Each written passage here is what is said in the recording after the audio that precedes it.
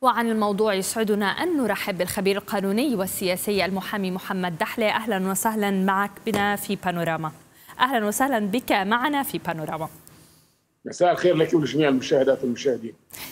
طيب بداية من أين برأيك جاءت تقديرات الشرطة الإسرائيلية بأن الانتخابات المرتقبة والخطاب السياسي سيؤدي إلى تطرف غير مسبوق في الخطاب السياسي وخصوصا الذي جاء في شبكات التواصل الاجتماعي وربما أن يؤدي الأمر إلى اعتداءات لأشخاص ولناشطين سياسيين؟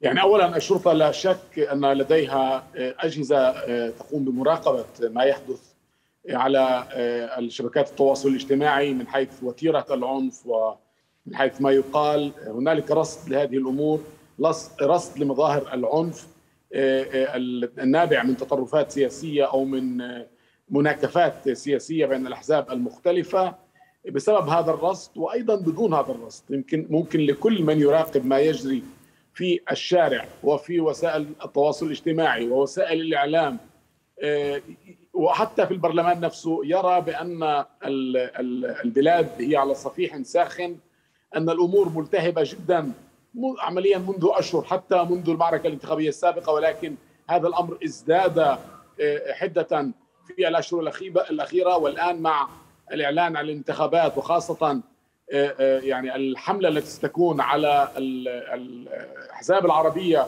وعلى موضوع مشاركة حزب عربي من عدمه في الائتلاف كل هذا سيؤدي في نهاية المطاف إلى مظاهر قد تصل إلى العنف الكلامي أو حتى العنف الجسدي وليس فقط عنف على وسائل التواصل الاجتماعي.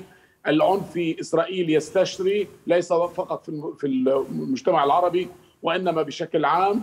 وهذه مثل هذه الاعتداءات اعتداءات على ممثلي جمهور أثناء أدائهم لوظيفتهم أثناء إلقائهم خطابات في أماكن يعني جماهيرية أو حلقات بيوت أو مشاركتهم في تظاهرات مختلفة قد يحصل مثل هذا الأمر خاصة وأننا نرى أن كثير من منتخبي الجمهور وبشكل خاص من اليمين أمثال كيش وكرعي وغيرهم الذين يعني لا ينتقون كلماتهم وهم بنفسهم يحرضون متابعيهم بالفعل على العنف. وقد رأينا في الأيام الأخيرة تصعيد من قبلهم معناه أنهم سيقومون بقلب الطاولة راسا على عقب وسيقومون بإلغاء كل التعيينات التي تمت من قبل الحكومة الحالية صحيح. حتى وصل بهم الحد إلى تهديد المستشارة القضائية الحكومة ويعني إلى درجة أنه أدى إلى تقديم شكوى من قبل بعض أعضاء الكنيست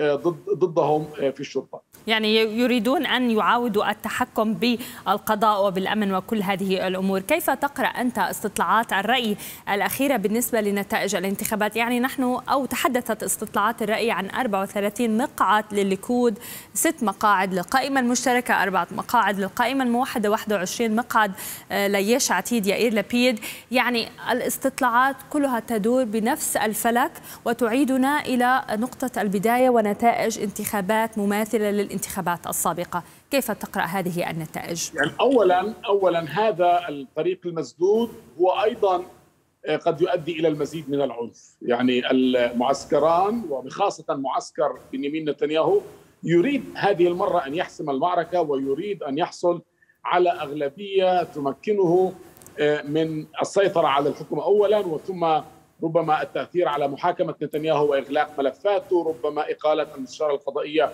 للحكومة، السيطرة على تعيين القضاة خاصة في المحكمة العليا الإسرائيلية وما إلى ذلك من أمور، وهذا بحد ذاته قد يزيد من رغبتهم في استعمال كل الوسائل بما في ذلك وسائل العنف من أجل حسم هذه المعركة. بالنسبة للنتائج المرتقبة طبعا هنالك استطلاعات الرأي ولكن برأيي كلها ما زالت سابقة لأوانها، نحن ما زلنا بعيدين عن الانتخابات أربعة أشهر على الأقل. وبالتالي أو الاستطلاعات الرأي الآن لا تدل بالتأكيد على ماذا سيحصل يوم الانتخابات خاصة وأن الساحة السياسية في البلاد دائما تشهد تحالفات وتكتلات واختفاء أحزاب وانسحاب شخصيات ودخول شخصيات جديدة قد تغير بالنتائج النهائية. إضافة إضافة إلى ذلك يجب أن نتذكر أن هنالك العديد من الأحزاب وذكرت القائمه العربية الموحدة أيضا ميريتس وحتى حزب العمل وأحزاب أخرى هي يعني تتأرجح على حافة نسبة الحسم أربعة أربعة اعضاء في البرلمان وهذا بطبيعة الحال يعني الآن هذه النتائج ولكن قد تكون النتائج مختلفة بيوم الانتخابات وإذا اختفى أحد هذه الأحزاب مثل حزب يمينة بعد استقالة بنت منه أو أي حزب آخر فقد يؤثر هذا بطبيعة الحال على الخارطة السياسية برمتها. ولذلك التكهن الآن هو يعني تكهن صعب. والاستطلاعات يجب أن ننتظر إلى فترة نكون فيها قريبين من الانتخابات وأن أن تكون الخارطة السياسية وتشكيلاتها واضحة. حتى على المستوى يعني على على الخارطة العربية والأحزاب العربية رأينا أنه بالأمس تم تسجيل أو قبل يومين تسجيل حزب حزب جديد في النقب من شخصيات معروفة في النقب. تسجيل مثل هذا الحزب طبعا سيكون له تداعياته بكل تأكيد على القائمة العربية الموحدة التي لديها داعمين كثر من النقب وقد يؤدي في حال فعلا خاض هذا الحزب الانتخابات منفردا أو مع القائمة المشتركة.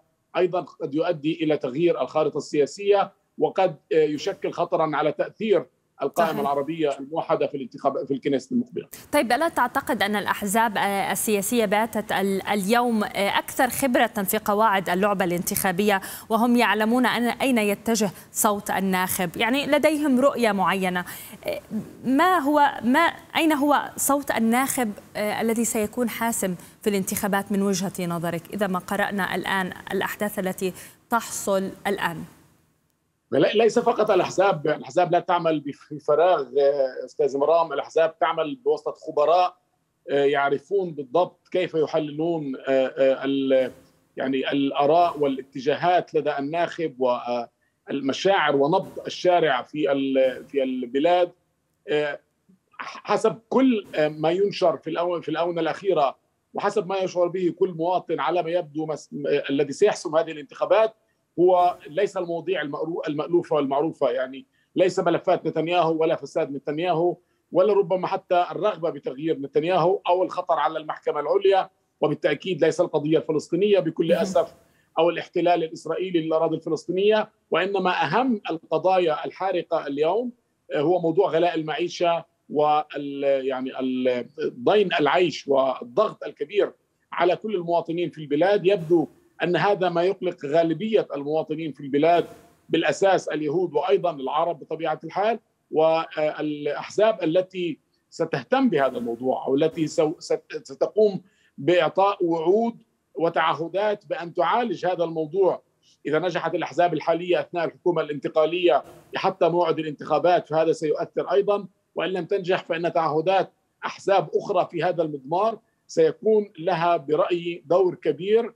ربما في تغيير أو في نقل ناخبين من حزب إلى آخر أو حتى من تكتل إلى آخر بمعنى التكتل بنيامين نتنياهو أو التكتل المسمى تكتل التغيير. طيب أخيرا الليكود وكانه متأكد من فوزه يعني عندما نستمع لما يقوله أعضاء الليكود من تغيير المستشاره القضائية للحكومة والتدخل في تعيين رئيس جديد للأركان لأركان الجيش الإسرائيلي يبدو الليكود كأنه متأكد من فوزه وأنه سيعود إلى السلطة. هل فعلا الليكود هو الأوفر حظا؟ وبالتحديد نتنياهو سيعود إلى بلفور؟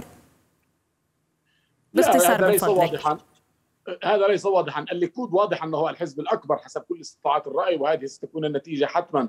ولكن هل هذا معناه أن بنيامين نتنياهو سيتمكن من تشكيل حكومة جديدة بعد الانتخابات؟ هذا الأمر مشكوك به جدا ليس فقط بسبب النتائج في الانتخابات السابقة وإنما أيضا بسبب عدد المقاعد الذي يحصل عليها هذا المعسكر معسكر بنيامين نتنياهو. حسب كل الاستطلاعات لا تتعدى ال 59 عضو كنيست. ربما هم يبنون على أن ايالة شكيد مضمونه وأنها ستنتقل من حزب أو من تكتل التغيير إلى تكتل بنيامين نتنياهو أو معسكر بنيامين نتنياهو. ولكن ايالة شكيد من غير المضمون أن تنتخب أصلا.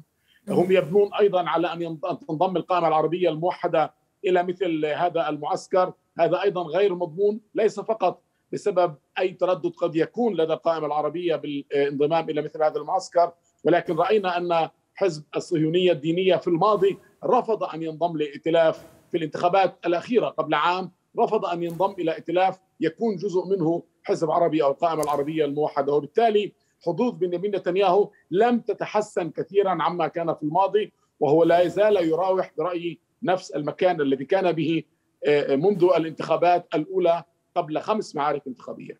الخبير السياسي والقانوني المحامي محمد دحلة شكرا جزيلا لك.